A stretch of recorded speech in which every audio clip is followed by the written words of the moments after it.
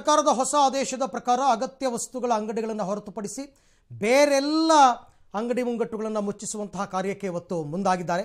So ನೀವೀಗ ನೋಡ್ತಾ ಇರ್ತಕ್ಕಂಥದ್ದು ಸರ್, ರಾಜ್ಯದ ಜನರಿಗೆ ಸರ್ಕಾರದ ಶಾಕ್. ಹದಿಮೂರು ಜನ ರಾಜ್ಯಾದ್ಯಂತ ಅಂಗಡಿಗಳನ್ನು ಬಂದ್ ಮಾಡಲಾಗ್ತಾ ಇದೆ. ಒಂದು ರೀತಿ ಕದ್ದು ಮುಚ್ಚಿ ಹೊಸ ಲಾಕ್ ಆದೇಶವನ್ನು ಜಾರಿಗೆ ತಂದಿದ್ದಾರೆ.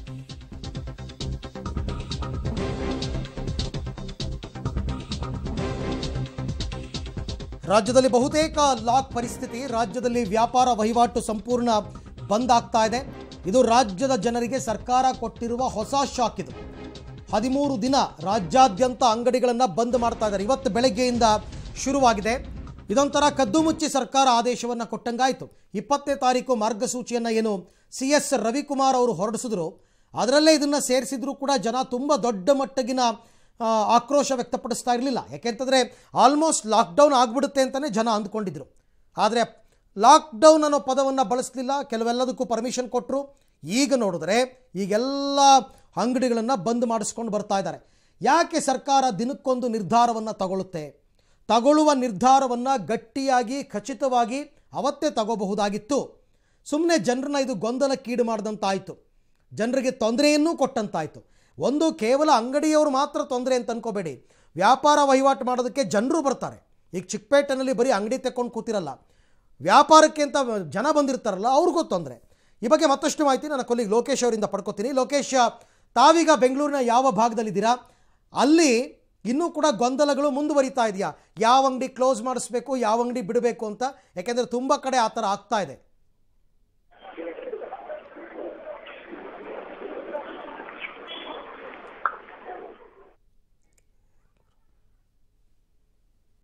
ಲೋಕೇ, ಲೋಕೇಶ್, ನನ್ನ ಧ್ವನಿ ಕೇಳ್ತಾ ಇದೆಯಾ ತಮಗೆ? ಓಕೆ, ಧ್ವನಿ ಕೇಳಿಸ್ತಾ ಇಲ್ಲ. ಹದಿಮೂರು ದಿನಗಳ ರಾಜ್ಯಾದ್ಯಂತ ಅಂಗಡಿ ಮಳಿಗೆಗಳನ್ನು ಸಂಪೂರ್ಣವಾಗಿ ಸರ್ಕಾರ ಬಂದ್ ಮಾಡುವ ಮುಖಾಂತರ ಒಂದು ರೀತಿ ಹೊಸ ಶಾಕನ್ನು ರಾಜ್ಯದ ಜನರಿಗೆ ಕೊಟ್ಟಿದೆ. ರಾಜ್ಯಾದ್ಯಂತ ಇವಾಗ ಹೊಸ ಪರಿಷ್ಕೃತ ಮಾರ್ಗಸೂಚಿ ಜಾರಿಗೆ ತರ್ತಾ ಇದ್ದಾರೆ ಪೊಲೀಸರು. ಅಂಗಡಿ ಮಳಿಗೆಗಳನ್ನು ಬಂದ್ ಮಾಡುವಂತೆ ಸರ್ಕಾರ ಆದೇಶವನ್ನು ಕೊಟ್ಟಿದೆ. ಕೇವಲ ಕೇವಲ ಔಷಧ, ದಿನಸಿ ಹಾಲು, ತರಕಾರಿ ಅಂಗಡಿಗಳಿಗೆ ಮಾತ್ರ ಅವಕಾಶ. ಕಟ್ಟಡ ಕಾಮಗಾರಿಗಳಿಗೆ ಸಂಬಂಧಪಟ್ಟ ಅಂಗಡಿಗಳನ್ನು ತೆರೆಯೋದಕ್ಕೆ ಅವಕಾಶ. ಕೃಷಿ ಉಪಕರಣಗಳ ಮಾರಾಟ ಅಂಗಡಿಗಳನ್ನು ತೆರೆಯೋದಕ್ಕೆ ಅವಕಾಶ. ಉಳಿದೆಲ್ಲ ಅಂಗಡಿಗಳನ್ನು ಬಂದ್ ಮಾಡುವಂತೆ ಸರ್ಕಾರ ಈಗ ಆದೇಶವನ್ನು ಕೊಟ್ಟಿರ್ತಕ್ಕಂಥದ್ದು ಹೀಗಾಗ್ತಾ ಇದೆ. ಮತ್ತೆ ನನ್ನ ಸಂಪರ್ಕಕ್ಕೆ ಬಂದಿದ್ದಾರೆ ನನ್ನ ಕೊಲೀಗ್ ಲೋಕೇಶ್. ಲೋಕೇಶ್, ಇವಾಗ ತಾವು ಇರುವ ಭಾಗದಲ್ಲಿ ಸಂಪೂರ್ಣವಾಗಿ ಎಲ್ಲ ಅಂಗಡಿ ಮುಟ್, ಮುಂಗಟ್ಟುಗಳನ್ನು ಕ್ಲೋಸ್ ಮಾಡಿದಾರಾ? ಅಥವಾ ಈಗಲೂ ಕೂಡ ಜನರಿಗೆ ಅಲ್ಲಿ ಗೊಂದಲ ಇದೆಯಾ? ಹೇಗಿದೆ ಪರಿಸ್ಥಿತಿ?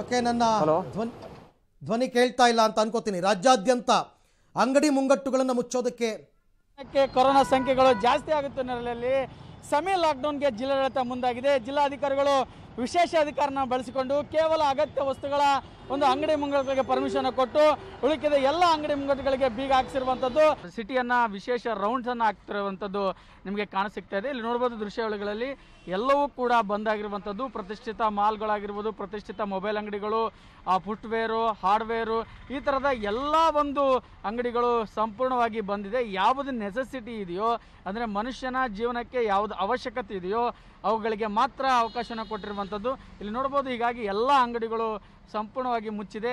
ಇನ್ನು ವಿಶೇಷವಾಗಿ ಬಾರ್ ಮತ್ತು ರೆಸ್ಟೋರೆಂಟ್ಗಳಿಗೆ ಕೇವಲ ಪಾರ್ಸೆಲ್ಗಳಿಗೆ ವ್ಯವಸ್ಥೆ ನೀಡಲಾಗಿದೆ. ಅದು ಬಿಟ್ಟು ಇನ್ನು ಇನ್ನುಳಿದಂಥ ಯಾವುದೇ ರೀತಿಯ ಅಂಗಡಿಗಳಿಗೂ, ಅಂದರೆ ನಾವು ಬಟ್ಟೆ ಅಂಗಡಿ ಆಗಿರ್ಬೋದು, ಆಭರಣ ಅಂಗಡಿ, ಅಂಗ, ಅಂಗಡಿಗಳು ಆಗಿರ್ಬೋದು, ice cream parlour, juice centre, ಹೀಗೆ ಎಲ್ಲ ಒಂದು ಅಂಗಡಿಗಳಿಗೆ ಸಂಪೂರ್ಣವಾಗಿ ಏನೋ ಬಂಧನ ಮಾಡಿರುವಂಥದ್ದು. ಹೀಗಾಗಿ ಯಾದಗಿರಿ ಒಂದು ಜಿಲ್ಲೆಯಲ್ಲಿ ಎಲ್ಲವೂ ಕೂಡ ಸ್ತಬ್ಧಗೊಂಡಿದೆ. ಈಗಾಗಲೇ ಜಿಲ್ಲಾಡಳಿತವು ಕೂಡ ಏನೋ ಸ್ಪಷ್ಟವಾಗಿ ನಿರ್ದೇಶನವನ್ನು ನೀಡಿರುವಂಥದ್ದು. ಹೋಟೆಲ್ಗಳಿಗೆ ಕೂಡ ಪಾರ್ಸಲ್ ವ್ಯವಸ್ಥೆಯನ್ನು ಕೊಡುತ್ತಿರೋದು ನಿಮಗೆ ಇಲ್ಲಿ ಕಂಡು ನಾವೀಗ ಯಾದಗಿರಿ ಜಿಲ್ಲೆಯ ಸುಭಾಷ್ ವೃತ್ತದ ಪ್ರಮುಖ ಒಂದು ರಸ್ತೆಯಲ್ಲಿರುವಂಥದ್ದು. ಇಲ್ಲಿ ನೋಡ್ಬೋದು ಎಲ್ಲ ಅಂಗಡಿಗಳು ಕೂಡ ಇರುವಂಥದ್ದು ನಿಮಗಿಲ್ಲಿ ಕಾಣ ಸಿಗ್ತಾ ಇದೆ. ಅಂದರೆ ಅವರು ಹೇಳಿದ್ದಾರೆ ಅವರ ಒಂದು ವಿಶೇಷ ಅಧಿಕಾರದ ಮುಖಾಂತರ ಈ ಒಂದು ನಿರ್ಧಾರಕ್ಕೆ ಬಂದಿದ್ದಾರೆ. ಯಾಕಂದರೆ ಈಗಾಗಲೇ ಯಾದಗಿರಿ ಜಿಲ್ಲೆಯಲ್ಲಿ ದಿನದಿಂದ ದಿನಕ್ಕೆ ಕೋವಿಡ್ ಸಂಖ್ಯೆಗಳು ಜಾಸ್ತಿ ಆಗ್ತಾ ಇದ್ದಾವೆ ಪಾಸಿಟಿವ್ ಪ್ರಕರಣಗಳು ಜಾಸ್ತಿ ಆಗ್ತಾ ಇದ್ದಾವೆ ಈಗಾಗಲೇ ಸಾವಿರದ ಗಡಿ ದಾಟಿದೆ. ಪಾಸಿಟಿವ್ ಪ್ರಕರಣಗಳ ಸಂಖ್ಯೆ ಹೀಗಾಗಿ ಆತಂಕಗೊಂಡಿರುವಂತಹ ಜಿಲ್ಲಾಡಳಿತ ಎಲ್ಲ ರೀತಿಯ ಒಂದು ಮುಂಗಟ್ಟುಗಳಿಗೆ ಏನೋ ಅಗತ್ಯ ವಸ್ತುಗಳನ್ನು ಬಿಟ್ಟು ಉಳಿಕೆದ್ದು ಎಲ್ಲ ಒಂದು ಒಂದು ಅಂಗಡಿ ಮುಂಗಟ್ಟುಗಳಿಗೆ ಈಗ ಸಂಪೂರ್ಣವಾಗಿ ಬಂಧನ ಮಾಡಿರುವಂಥದ್ದು. ಪಬ್ಲಿಕ್ ಟಿವಿ ಒಂದು ವಿಶೇಷ ರೌಂಡ್ ಮೂಲಕ ನಿಮಗೆ ಒಂದು ಪರಿಸ್ಥಿತಿಯನ್ನು ತೋರಿಸ್ತಾ ಇದೆ. ಇದು ಒಂದು ಯಾದಗಿರಿ ಜಿಲ್ಲೆಯಲ್ಲಿ ಒಂದು ಸಿಮಿ ಲಾಕ್ಡೌನ್ ಅಂತ ಹೇಳ್ಬೋದು. ಯಾಕಂದ್ರೆ ಈಗಾಗಲೇ ಜಿಲ್ಲಾಡಳಿತ ಸ್ಪಷ್ಟ ನಿರ್ದೇಶನ ನೀಡಿತ್ತು. ನಾವು ಜ, ಯಾವುದೇ ರೀತಿಯ ಒಂದು ಲಾಕ್ಡೌನ್ ಮಾಡೋದಿಲ್ಲ ಅಂತೆ. ಆದರೆ ಇವತ್ತು ಬೆಳಗ್ಗೆ ಏಕಾಏಕಿ ಈ ಒಂದು ನಿರ್ಧಾರ ಕೈಗೊಂಡಿರೋದ್ರಿಂದ ವ್ಯಾಪಾರಸ್ಥರು ಕೂಡ ಈಗ ಆತಂಕಗೊಂಡಿರುವಂಥದ್ದು. ಸಾರ್ವಜನಿಕರ ಅಭಿಪ್ರಾಯ ಅಂತ ಕೇಳೋಣ. ಸರ್, ಈಗ ಏಕಾಏಕಿ ಲಾಕ್ಡೌನ್ ಇವತ್ತು ಬೆಳಗ್ಗೆನೇ ಘೋಷಣೆ ಮಾಡಿರುವಂಥದ್ದು. ಹೇಗೆ ಅನಿಸ್ತಿದೆ ಸರ್ ವ್ಯಾಪಾರ? ಪುಟ್ಟ ವ್ಯಾಪಾರದವರು ಏನು ಮಾಡಬೇಕು?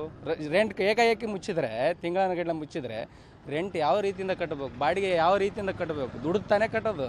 ಅದನ್ನ ಪರಿಗಣಿಸಬೇಕು. ಏಕಾಏಕಿ ಮಾಡೋದ್ರಿಂದ ಕೊಟ್ಟಿಲ್ಲ. ಕೊಟ್ಟಿಲ್ಲ ಕೊಟ್ಟಿಲ್ಲ ಖಂಡಿತ ಕೊಟ್ಟಿಲ್ಲ. ಕೇಳ್ಬೋದು ನೀವು ಲೈವ್ ಆಗಿ ಹೋಗಿ ಕೇಳ್ಬೋದು. ಇವರ ಮತ್ ಮನಸ್ಸ ಸ್ವ ಇಚ್ಛೆಯಿಂದನೇ ಆಡಳಿತಾಧಿಕಾರ ನಡೆಸ್ತದೆ ಹೊರತು. ದಿನಕ್ಕೆ ಜಿಲ್ಲಾದ್ಯಂತ ಸೋಂಕಿತರ ಸಂಖ್ಯೆ ಹೆಚ್ಚಾಗ್ತಿರೋದ್ರಿಂದ ಈಗಾಗಲೇ ಜಿಲ್ಲಾಡಳಿತ ಮೇ ನಾಲ್ಕನೇ ತಾರೀಕಿನವರೆಗೆ ಕಾಫಿ ನಾಡನ್ನು ಸಂಪೂರ್ಣವಾಗಿ ಸ್ತಬ್- ಸ್ತಬ್ಧಗೊಳಿಸೋದಕ್ಕೆ ಮುಂದಾಗಿರುವಂಥದ್ದು. ಈ ಒಂದು ಬೆಳಿಗ್ಗೆ ನಡೆದಂಥ ಸಭೆಯಲ್ಲಿ ಜಿಲ್ಲಾಡಳಿತ, ಪೊಲೀಸ್ ಇಲಾಖೆ ಹಾಗೂ ನಗರಸಭೆ ಆಯುಕ್ತರಿಂದ ಈ ತೀರ್ಮಾನ ಮಾಡಿಕೊಂಡಿದ್ದು, ಮೇ ನಾಲ್ಕನೇ ತಾರೀಕು ತನಕ ಅಗತ್ಯ ವಸ್ತುಗಳನ್ನು ಹೊರತುಪಡಿಸಿ ಸಂಪೂರ್ಣವಾಗಿ ಇಡೀ ಚಿಕ್ಕಮಗಳೂರು ಜಿಲ್ಲೆ ಸ್ತಬ್ಧವಾಗುತ್ತೆ. ಆ ಹಿನ್ನೆಲೆಯಲ್ಲಿ ಈಗಾಗಲೇ ಇಡೀ ಚಿಕ್ಕಮಗಳೂರು ನಗರವನ್ನು ಸಂಪೂರ್ಣವಾಗಿ, ಆ, ಸ್ತಬ್ಧಗೊಳಿಸ್ತಿದ್ದಾರೆ. ನಾವು ವಿಜುವಲ್ಸಲ್ಲೂ ಕೂಡ ನೋಡ್ಬೋದು. ಇದು ಚಿಕ್ಕಮಗಳೂರು ನಗರದ ಎಂ ಜಿ ರಸ್ತೆ. ಅಂತಂದರೆ ಪ್ರತಿನಿತ್ಯ ಇಲ್ಲಿ ಸಾವಿರಾರು ಜನಸಾಮಾನ್ಯರು ಸೇರಿ ವಹಿವಾಟು ನಡೆಸುವಂಥದ್ದು, ಅಂಗಡಿ ಮುಂಗಟ್ಟುಗಳು ಇರುವಂಥದ್ದು. ಆದರೆ, ದಿನದಿಂದ ದಿನಕ್ಕೆ ಚಿಕ್ಕಮಗಳೂರು ಜಿಲ್ಲಾದ್ಯಂತ ಕೊರೋನಾ ಸೋಂಕಿತರ ಸಂಖ್ಯೆ ಹೆಚ್ಚಾಗ್ತಿರೋದ್ರಿಂದ, ಈಗಾಗಲೇ ಜಿಲ್ಲಾಡಳಿತ ಸಂಪೂರ್ಣ ಇಡೀ ಜಿಲ್ಲೆಯನ್ನು ಸ್ತಬ್ಧಗೊಳಿಸೋದಕ್ಕೆ ಮುಂದಾಗಿರುವಂಥದ್ದು. ಅಂತಂದರೆ, ಈಗಾಗಲೇ, ಆ ಪೊಲೀಸ್ನವರು ಕೂಡ ಅಂಗಡಿ ಬಾಗಿಲುಗಳನ್ನು ಹಾಕಿಸ್ತಾ ಇದ್ದಾರೆ. ಯಾಕೆಂತಂದರೆ ಎರಡನೇ ಕೊರೋನಾ ಎರಡನೇ ಅಲೆಯ ಆರಂಭದ ದಿನಗಳಲ್ಲಿ ಚಿಕ್ಕಮಗಳೂರು ಜಿಲ್ಲೆಯಲ್ಲಿ ಪ್ರತಿನಿತ್ಯ ಇಪ್ಪತ್ತು, ಮೂವತ್ತು, ನಲವತ್ತು ಕೇಸ್ಗಳು ಬರ್ತಾ ಇದ್ವು. ಆದರೆ ಕಳೆದ ನಾಲ್ಕೈದು ದಿನಗಳಿಂದ ಇಡೀ ಜಿಲ್ಲೆಯಲ್ಲಿ ನಿನ್ನೆ ಒಂದೇ ದಿನ ಇನ್ನೂರು ಕೇಸ್ಗಳು ಬಂದಿರುವಂಥದ್ದು ಸೊ ಹಾಗಾಗಿ ದಿನದಿಂದ ದಿನಕ್ಕೆ ಸೋಂಕಿತರ ಸಂಖ್ಯೆ ಹೆಚ್ಚಾಗ್ತಿರೋದ್ರಿಂದ ಇಡೀ ಜಿಲ್ಲೆಯನ್ನು ಸಂಪೂರ್ಣ ಸ್ತಬ್ಧಗೊಳಿಸೋದಕ್ಕೆ ಜಿಲ್ಲಾಡಳಿತ ಮುಂದಾಗಿರುವಂಥದ್ದು. ಆ ಹಿನ್ನೆಲೆಯಲ್ಲಿ ಈಗಾಗಲೇ ಇವತ್ತಿನ ಸಭೆಯಲ್ಲೂ ಕೂಡ ತೀರ್ಮಾನ ಮಾಡಿಕೊಂಡಿದ್ದಾರೆ. ಅಂತಂದರೆ ಪ್ರತಿನಿತ್ಯ ಏನು ಚಿಕ್ಕಮಗಳೂರು ಜಿಲ್ಲೆಯಲ್ಲಿ ಸೋಂಕಿತರ ಸಂಖ್ಯೆ ಹೆಚ್ಚಾಗ್ತಾನೆ ಇದೆ, ಆ ಒಂದು ಏನು ಸೋಂಕಿತರ ಸಂಖ್ಯೆಯನ್ನು ನಿಯಂತ್ರಣ ಮಾಡೋದಕ್ಕೋಸ್ಕರ ಈಗಾಗಲೇ ಜಿಲ್ಲಾಡಳಿತ ಕೂಡ ಈ ಒಂದು ನಿರ್ಧಾರಕ್ಕೆ ಬಂದಿರುವಂಥದ್ದು. ಅಂತಂದರೆ ಮೇ ನಾಲ್ಕನೇ ತಾರೀಕು ತನಕ ಸಂಪೂರ್ಣವಾಗಿ ಜಿಲ್ಲೆಯನ್ನು ಸ್ತಬ್ಧಗೊಳಿಸುವಂಥದ್ದು. ಯಾವುದೇ ಒಂದು ಅಂಗಡಿ ಮುಂಗಟ್ಟುಗಳಾಗಲಿ ತೆರೆದಲ್ಲೇ ಇರುವಂಥ ಒಂದು ನಿರ್ಧಾರವನ್ನು ಮಾಡ್ಕೊಂಡಿದ್ದಾರೆ. ಯಾಕೆಂತಂದರೆ ಅಗತ್ಯ ವಸ್ತುಗಳನ್ನು ಏನಿದಾವೆ ಅವನ್ನು ಹೊರತುಪಡಿಸು. ಅಂತಂದರೆ ಹಾಲು ಆಗ್ಬೋದು, ದಿನಸಿ ಅಂಗಡಿ, ತರಕಾರಿ, ಈ ರೀತಿಯಾದಂಥ ಅಗತ್ಯ ವಸ್ತುಗಳನ್ನು ಹೊರತುಪಡಿಸಿ ಇಡೀ ಜಿಲ್ಲೆಯನ್ನು ಸಂಪೂರ್ಣ ಸ್ತಬ್ಧಗೊಳಿಸಬೇಕು ಅಂತ ಈಗಾಗಲೇ ಇಂದಿನ ಸಭೆಯಲ್ಲಿ ತೀರ್ಮಾನ ಮಾಡಿಕೊಂಡಿರುವಂಥದ್ದು ಆ ಹಿನ್ನೆಲೆಯಲ್ಲಿ ಈಗಾಗಲೇ ಆ ಪೊಲೀಸ್ನವರು ಕೂಡ ಇಡೀ ಜಿಲ್ಲಾದ್ಯಂತ ನಗರದ ಪ್ರತಿಯೊಂದು ಮುಖ್ಯ ರಸ್ತೆ ಮತ್ತು ಗಲ್ಲಿ ಗಲ್ಲಿಗಳಲ್ಲೂ ಕೂಡ ಇರುವಂಥ ಪ್ರತಿಯೊಂದು ಅಂಗಡಿ ಮುಂಗಟ್ಟುಗಳನ್ನು ಕೂಡ ಈಗಾಗಲೇ ಬಾಗಿಲು ಹಾಕಿಸುವಂಥ ಒಂದು ಪ್ರಯತ್ನ ಮಾಡ್ತಾ ಇರುವಂಥದ್ದು ಯಾಕೆಂತಂದರೆ ಈಗಾಗಲೇ ಕೊರೋನಾ ಮೊದಲ ಅಲೆಯಿಂದ ಇಲ್ಲಿ ತನಕನೂ ಕೂಡ ಜಿಲ್ಲೆಯಲ್ಲಿ ಸುಮಾರು ನೂರ ಐವತ್ತರ ಸಮೀಪದಲ್ಲಿ ಸಾವಿನ ಸಂಖ್ಯೆ ಕೂಡ ಏರಿಕೆ ಆಗಿರುವಂಥದ್ದು ಎರಡನೇ ಅಲೆಯಲ್ಲಿ ಸೋಂಕಿತರ ಸಂಖ್ಯೆ ದಿನದಿಂದ ದಿನಕ್ಕೆ ನೂರು, ನೂರೈವತ್ತು, ಇನ್ನೂರು ಈ ಪ್ರಮಾಣದಲ್ಲಿ ಏರಿಕೆ ಆಗ್ತಿದೆ ಆ ಹಿನ್ನೆಲೆಯಲ್ಲಿ ಮುಂದ, ಮುಂಜಾಗ್ರತಾ ಕ್ರಮವಾಗಿ ಯಾವುದೇ ರೀತಿಯಾದಂಥ ಸಮಸ್ಯೆ ಆಗಬಾರ್ದು ಅನ್ನೋ ಹಿನ್ನೆಲೆಯಲ್ಲಿ ಈಗಾಗಲೇ, ಆ ಪೊಲೀಸ್ನವರು ಮತ್ತು ಜಿಲ್ಲಾಡಳಿತ ಈ ಒಂದು ಕ್ರಮಗಳನ್ನು ಕೈಗೊಂಡಿರುವಂಥದ್ದು. ಅಂತಂದರೆ, ಮುಂದಿನ ದಿನಗಳಲ್ಲೂ ಕೂಡ ಸೋಂಕಿತರ ಸಂಖ್ಯೆ ಯಾವುದೇ ಕಾರಣಕ್ಕೂ ಹೆಚ್ಚಾಗಬಾರ್ದು. ಜಿಲ್ಲೆಯಲ್ಲಿ ಇದೇ ರೀತಿಯಾದಂಥ ಒಂದು ಅಂದರೆ ನಿಯಂತ್ರಣಕ್ಕೆ ಬರಲಿ ಅನ್ನೋ ಕಾರಣಕ್ಕೋಸ್ಕರ ಈಗಾಗಲೇ ಈ ರೀತಿಯಾದಂಥ ಒಂದು ಕ್ರಮ ಕೈಗೊಂಡಿರುವಂಥದ್ದು. ಅಂತಂದರೆ ಮೇ ನಾಲ್ಕನೇ ತಾರೀಕು ತನಕ ಇಡೀ ಜಿಲ್ಲಾದ್ಯಂತ ಅಗತ್ಯ ವಸ್ತುಗಳನ್ನು ಹೊರತುಪಡಿಸಿ ಇಡೀ ಜಿಲ್ಲೆ ಸಂಪೂರ್ಣವಾಗಿ ಸ್ತಬ್ಧವಾಗಲಿದೆ. ಕ್ಯಾಮರಾಮನ್ ಪುನೀತ್ ಜೊತೆ Narayanagowda, public TV, Chikkamagaluru. Okay, ಇದು ಸದ್ಯದ ರಾಜ್ಯದ ಪರಿಸ್ಥಿತಿ.